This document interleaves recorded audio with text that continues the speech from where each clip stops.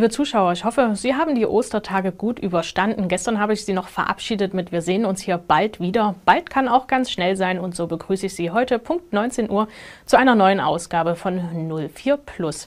Wir haben wieder die relevanten Themen für Sie zusammengefasst. Unter anderem waren wir zuletzt in Kolditz. Denn dort auf dem Kolditzer Markt gab es auch eine Kundgebung für Demokratie, Weltoffenheit und Zusammenhalt. Etwa 200 bis 250 Teilnehmer folgten diesem Aufruf. Musikalisch mit der Dresdner Gruppe Banda Kommunale startete auf dem Kolditzer Markt die Kundgebung für Demokratie, Weltoffenheit und Zusammenhalt durch Teilhabe. Nach Angaben der Veranstalter waren etwa 200 Teilnehmer auch aus benachbarten Städten am Nachmittag des 24. März in die Muldestadt gekommen. Unter den Demonstrierenden waren außerdem Kolditzer Geschäftsleute.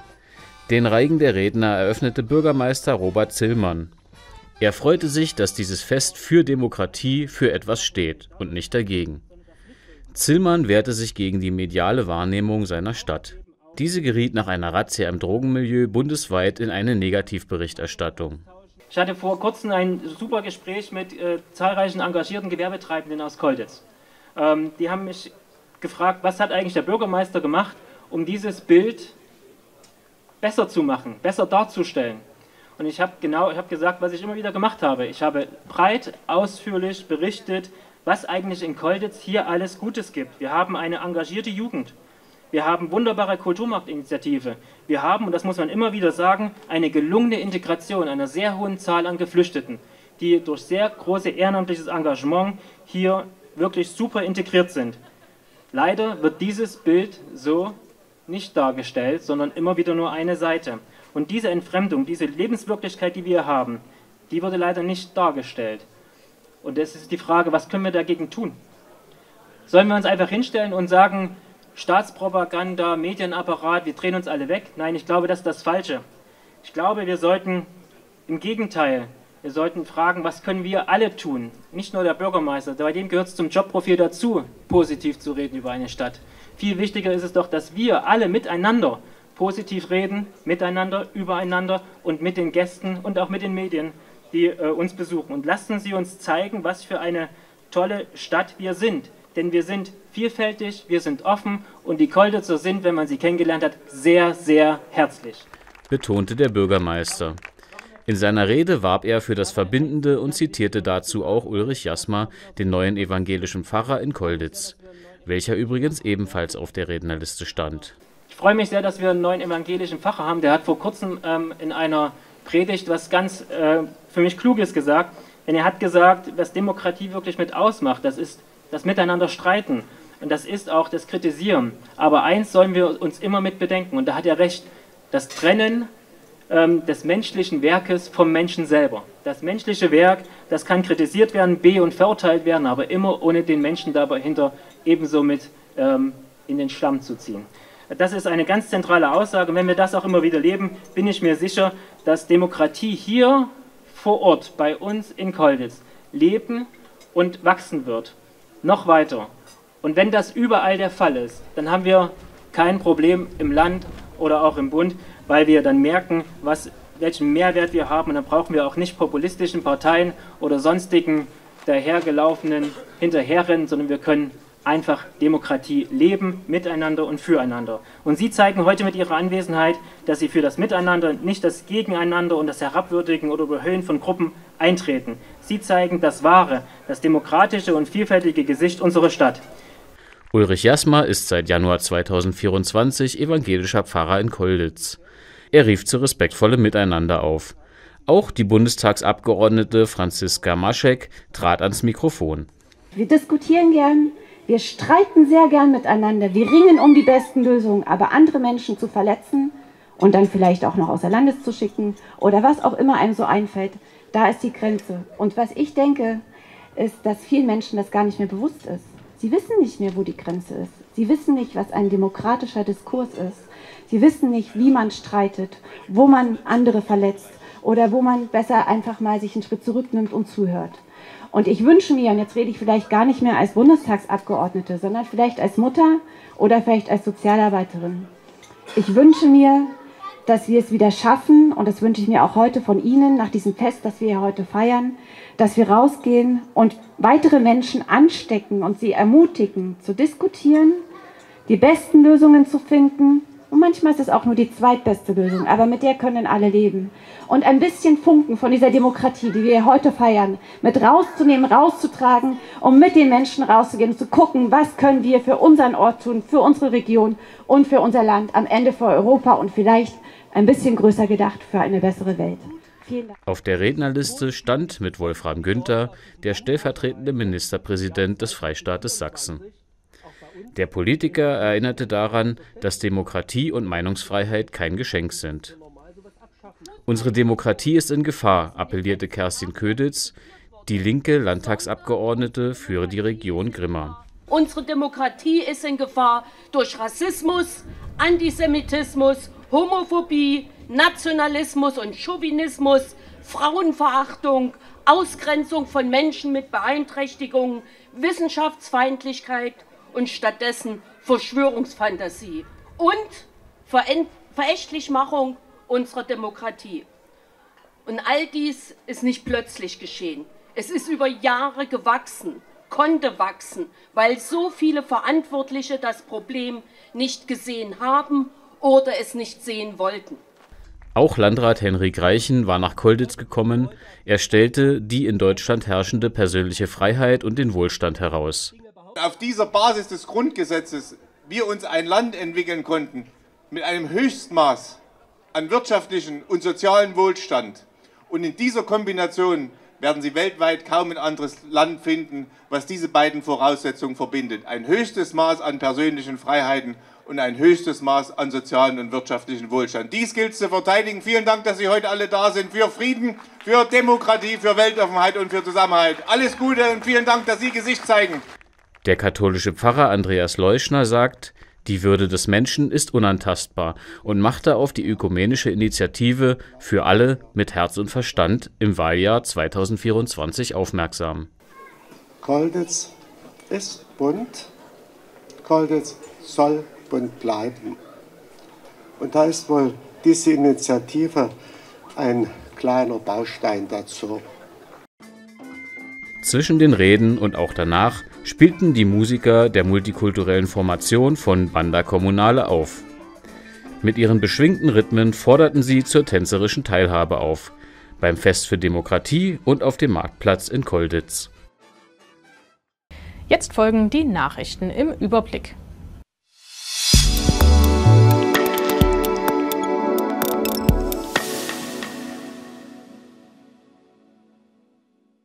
Kommen wir zu den Nachrichten. Der Arbeitsmarkt im Monat März.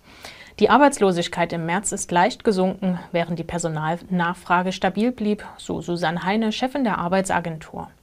Die Beschäftigungsaufnahmen blieben auf Vorjahresniveau, was positive Signale in einem herausfordernden konjunkturellen Umfeld sind. Ricardo Donat vom Jobcenter Nordsachsen betont die Bedeutung der beruflichen Weiterbildung. Im Landkreis Nordsachsen sank die Arbeitslosigkeit um 114 Personen, blieb aber im Vergleich zum Vorjahr nahezu unverändert. Im Landkreis Leipzig ging die Arbeitslosigkeit um 34 Personen zurück, während sie im Vorjahresvergleich um 647 Personen zunahm. Insgesamt erhielten 8.666 Menschen in Nordsachsen und 10.829 im Landkreis Leipzig Grundsicherungsleistungen. Investitionen in den Feuerwehrnachwuchs. Sachsens Innenminister Armin Schuster überreichte dem Landesfeuerwehrverband Sachsen e.V. einen Fördermittelbescheid über 750.000 Euro. Diese unterstützt die Verbandsarbeit und insbesondere die Jugendfeuerwehren im Freistaat. Die Förderung ist von entscheidender Bedeutung für einen zukunftsfähigen Brandschutz, da sich über 17.000 Jugendliche engagieren. Im Jahr 2024 sind allein 600.000 Euro für die Jugendfeuerwehren vorgesehen, davon 150.000 Euro für landesweite Projekte. Zusätzlich unterstützt der Freistaat die allgemeine Verbandsarbeit mit 100.000 Euro. Diese Investition unterstreicht das Engagement Sachsens für den Feuerwehrnachwuchs und die nicht polizeiliche Gefahrenabwehr. Neubau von Geh- und Radweg entlang der S45 bei Klinger beginnt. Ab dem 8. April starten die Bauarbeiten für einen neuen Geh- und Radweg entlang der S45 zwischen Ortsausgang Klinger und der Einmündung S49.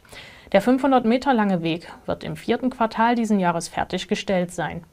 Neben einer Querungsstelle und einem 2,50 Meter breiten Radweg auf der westlichen Seite der S45 werden auch Versickerungsgräben und Mulden für die Entwässerung errichtet. Dieses Vorhaben, Teil des 100 Kilometer Radwegeprogramms des Freistaates Sachsen, erhöht die Verkehrssicherheit und schließt eine Lücke im Radwegenetz zwischen Klinger und Partenstein. Während der Bauzeit gibt es Verkehrseinschränkungen, jedoch wird eine Umfahrungsstrecke eingerichtet und nach Abschluss der Vorarbeiten wird der Verkehr durch eine Ampelanlage geleitet. Die Baukosten von etwa einer halben Million Euro werden vom Freistaat Sachsen finanziert. Erfolgreich verloren hat Wurzens Oberbürgermeister Marcel Buchter die Stadtwette im Rahmen des Wurzner Nachtshoppings. Zum Start in die 27. Auflage des Shopping-Events wettete der Oberbürgermeister gegen den ATSV, dass der Verein es nicht schafft, auf dem Parkhausdach den DFB-Pokal nachzustellen.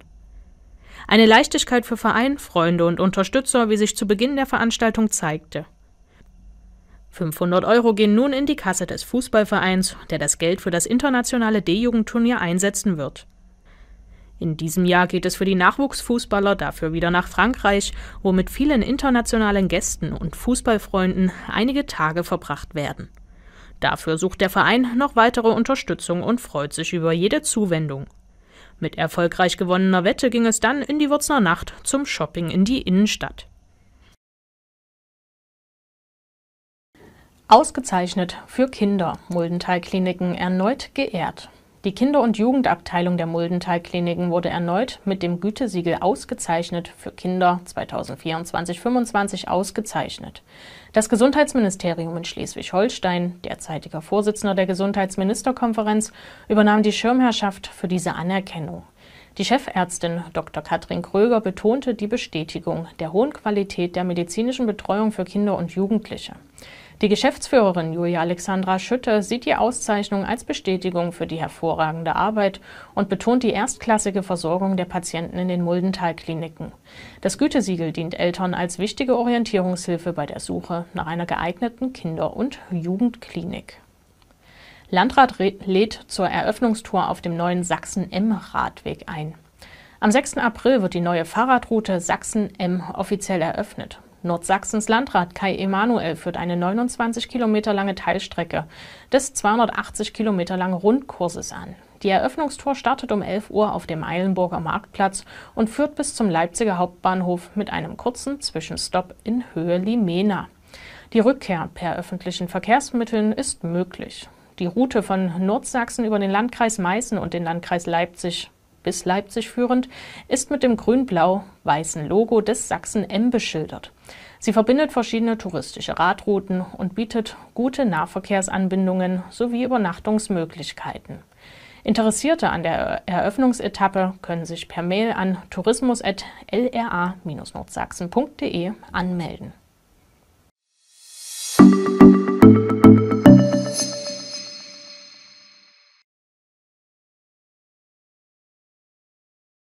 Die ersten Monate des Jahres sind meist Zeit für die Jahreshauptversammlung bei den Feuerwehren, so auch in Hohnstedt.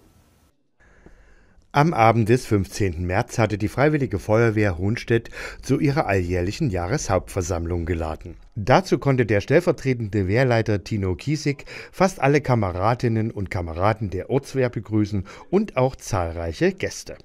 Darunter waren auch Oberbürgermeister Matthias Berger, Stadtrat Marco Neumann, Kreisbrandmeister Nils Adam und Steffen Kunze, Sachgebietsleiter Brandschutz der Stadt Grimma und Förderer der Wehr. In seinem Rechenschaftsbericht blickte Wehrleiter Thilo Krause auf das Jahr 2023 und die insgesamt absolvierten Einsätze zurück. Ausgerückt sind wir achtmal zu kleinen Mittelbränden, neunmal zu BMA, 31 Mal technische Hilfe. Technische Hilfe gliedert sich, gliedert sich auf in viermal Tragehilfe, fünfmal Verkehrsunfall, zweimal Verkehrsunfall mit eingeklemmten Personen, fünfmal ABCÖ, fünfmal TH Baum, siebenmal Hochwasser und dreimal TH Sonstiges. Der Wehrleiter ließ sich nicht nehmen, den Kameradinnen und Kameraden für den ganz besonderen Einsatz während des Weihnachtshochwassers zu danken. Bei dem Pegel tritt die Mulde über die Ufer und überschwemmt zuerst den Fuß- und Radweg Richtung Völlische Wiesen. Wir sind gegen 16.30 Uhr ausgerückt und haben den Auftrag erfüllt. So konnte ca. 18 Uhr das Tor geschlossen gemeldet werden. Am 24.12.8 Uhr wurden die Wehrleiter zur Besprechung ins Gerätehaus in Grimmer gerufen. Unter Absprache mit allen Beteiligten der Alarm der Schließung der Hochanlage ausgelöst. Am selben Tag übernahmen wir die erste Bestreifung der Anlage bis zum 25.12.8 Uhr. Danach übergaben wir die Aufgabe an die Feuerwehr Grimma. Am 27.12. ging es zum letzten Mal im Jahr 2023 nach Grimma an die Mulde. Wir hatten die Aufgabe, das Tor, der, das Tor an der Pöppelbahnbrücke wieder zu öffnen, damit der Bauhof erste Aufräumarbeiten durchführen konnte. Nochmal einen großen Dank an alle Einsatzkräfte, die über Weihnachten eine großartige Leistung mit insgesamt 162 Einsatzstunden geleistet haben. Ich danke den Familien der Feuerwehrleute für sehr viel Verständnis. Weiterhin wurden durch die Kameradinnen und Kameraden mehrere Lehrgänge besucht. Die Weiterbildung erfolgte bei sieben Gemeindelehrgängen und sechs Lehrgängen an der Landesfeuerwehrschule. Darunter waren die für Atemschutzgeräteträger, Ausbilder, Zugführer und Ausbilder Digitalfunk. Übungsdienste gehörten ebenfalls zum Ausbildungsgeschehen. Ein paar Punkte zur Ausbildung.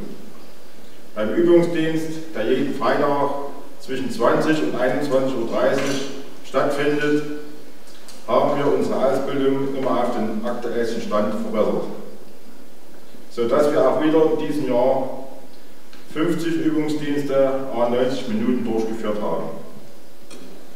Auch im Jahr 2023 lag der Fokus auf der technischen Hilfe bei Verkehrsunfällen, Umgang mit Schärfe und Spreizer, Absicherung von Einsatzstellen im Verkehrsraum und Erste Hilfe bei Verletzten. Es wurde aber nicht nur technische Hilfe geübt. Im August konnten wir bei der Firma Fahn im Gewerbegebiet das Firmengelände nutzen, um einen Löschangriff durchzuführen. Sowie die Handhabung der Brandmeldeanlage nochmal vertiefen. Ein ganz besonderes Highlight für die 44 kräftestarke Wehr mit ihren 39 aktiven Kameradinnen und Kameraden war der Umbau ihres Löschgruppenfahrzeugs LF-10 zum Hilfeleistungslöschgruppenfahrzeug HLF-10. Florian Knochenmus zog Bilanz zum Einsatzgeschehen der Drohnenstaffel des Landkreises Leipzig im vergangenen Jahr. Von den insgesamt 74 Einsätzen leistete die in Hohenstedt stationierte Einheit 29. Zu den Aufgaben gehörten der Gebäudebrand in Döben, mehrere Feld- und Waldbrände, ein Pkw im Kospudener See und das Hochwasser 2023. Veranstaltungen wie das Highfield wurden gemeinsam mit Kräften aus Frankenhain ebenfalls betreut. Auch auf Landes- und Bundesebene konnte sich die Drohnenstaffel einbringen, resümierte Florian Knochenmus. Oberbürgermeister Matthias Berger sprach den Einsatzkräften der Hohenstädter Wehr seinen Dank aus. Er hob die fortschrittliche und innovative Herangehensweise an den Brandschutz, bedingt durch die Neuerungen im letzten Jahr, hervor. Auch Steffen Kunze, der Sachgebietsleiter Brandschutz der Stadt Grimma und stellvertretender Kreisbrandmeister, dankte den Hohenstädtern für ihre Einsatzbereitschaft und lobte die gute Zusammenarbeit. Anschließend ging es zu den Ehrungen und Beförderungen. Hier wurde der Kamerad Maurice Fritsche zum Hauptfeuerwehrmann, die Kameraden Marcel Krause und Florian Knochenmus zum Hauptlöschmeister und Kamerad Philipp Hofmann zum Brandmeister ernannt. Der Kamerad Detlef Neumann wurde für 40 Jahre aktiven Dienst in der Feuerwehr mit dem Feuerwehr-Ehrenzeichen am Bande in Gold ausgezeichnet. Des Weiteren wurde er offiziell in die Alters- und Ehrenabteilung überstellt. Philipp Hofmann erhielt die Verdienstmedaille des Kreisfeuerwehrverbandes des Landkreises Leipzig für sein besonderes Engagement beim Aufbau im Rahmen der Drohnenstaffel des Landkreises. Die Firma Newtech überreichte der Hohenstädter Wehr eine Spende in Form von neuen Schwelleraufsätzen für das Rettungsgerät und weiteres Zubehör für die technische Hilfeleistung. Nach dem offiziellen ging es in den geselligen Teil des Abends über. Gestern war es recht stürmisch, heute recht durchwachsen. Wie das mit den Wetteraussichten weitergehen wird, das sagen wir Ihnen jetzt.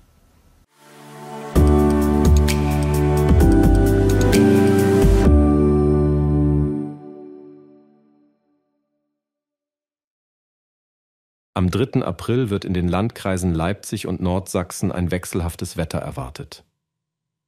Morgens ziehen einige Wolkenfelder durch die Region, jedoch ist auch mit sonnigen Abschnitten zu rechnen. Die Temperaturen liegen am Morgen bei etwa 7 Grad. Im weiteren Verlauf des Tages lockern die Wolken auf und die Sonne kommt vermehrt zum Vorschein. Die Temperaturen steigen tagsüber auf angenehme 18 Grad. Gegen Nachmittag können vereinzelt kurze Regenschauer auftreten, die jedoch nicht von langer Dauer sind. Am Abend klart es wieder auf und die Temperaturen sinken auf etwa 10 Grad. In der Nacht bleibt es größtenteils trocken. Insgesamt erwartet die Region Leipzig und Nordsachsen ein Mix aus Sonne, Wolken und vereinzelten Regenschauern.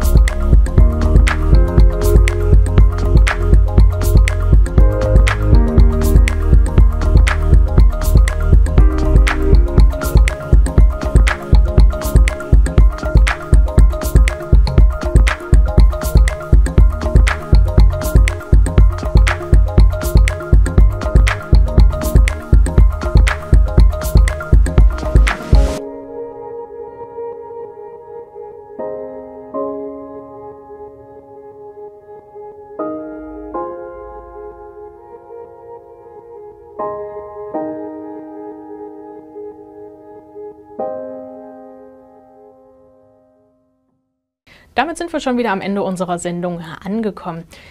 Was Sie vielleicht vermissen, sind jetzt die Ostereier in unserem Studio. Da hatten wir Sie ja die letzten Tage auf eine Gewinnspielreise geschickt, wie viele Ostereier sich in unserem Studio hier befunden haben.